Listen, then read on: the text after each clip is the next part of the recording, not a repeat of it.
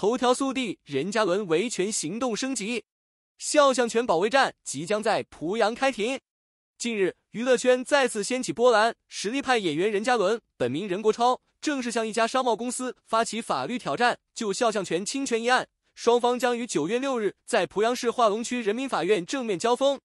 这一消息如同夏日惊雷，迅速登上娱乐热榜，引发广泛关注与讨论。天眼查权威披露，烈焰励志语句共燃。提及任嘉伦，不得不提其主演的电视剧《烈焰》。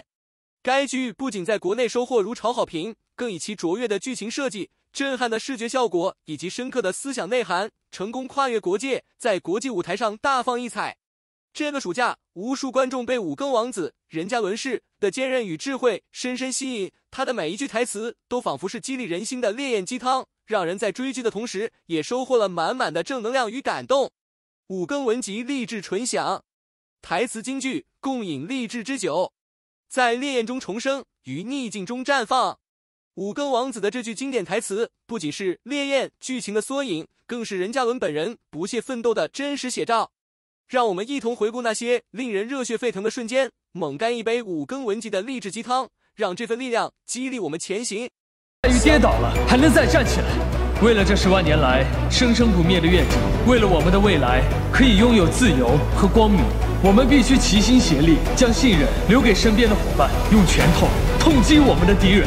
等到他日大计成熟，我愿付出我的一切，包括我的生命。我五更是为天下人而战，自有天下人结盟助我。先有百姓，后有神；先有万民，后有天。人活着为的是坚守正道，是为了无愧于天地，无悔于内心，无畏于残暴。成功从来都不会一蹴而就，前行的道路上，开拓者也从来不会被过多的人所理解。诸神不必畏，天命不足畏。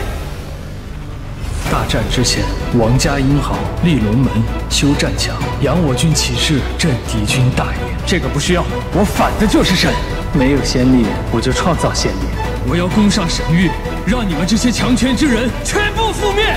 我们厉兵秣马，披坚执锐，无论道路多么的艰难，无论对手多么的强大，我们都要取得胜利，直到三界生灵可以平等的享有阳光、雨露。和平的生活在这个世界上。互动时刻，共话热榜。各位粉丝及吃瓜群众们，你们对任嘉伦此次维权行动有何看法？是否也被《烈焰》中的励志精神所打动？快来评论区留言，分享你的观点，让我们一起将这份正能量传递给更多人。同时，别忘了关注娱乐热榜，第一时间掌握更多精彩资讯。关注我们，不错过每一次精彩。最后。诚邀各位持续关注我们，这里是第一手娱乐资讯的聚集地，也是你了解任嘉伦最新动态的窗口。